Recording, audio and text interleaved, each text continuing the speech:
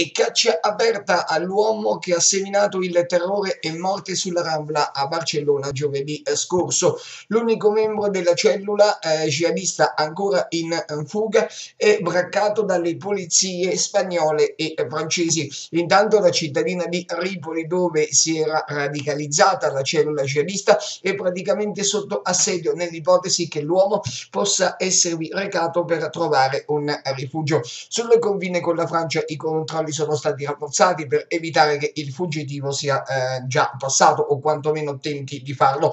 Intanto nella mattinata di ieri una folla di cittadini e di turisti hanno assistito alla messa per la pace organizzata nella chiesa della Sagrada Famiglia che doveva essere il primo obiettivo celista alla presenza dei reali di Spagna e del premier iberico Mariano Rajoy. Un ulteriore segnale della volontà della metropoli di tornare alla normalità è quella di non piegarsi alla logica e alla lotta del terrorismo.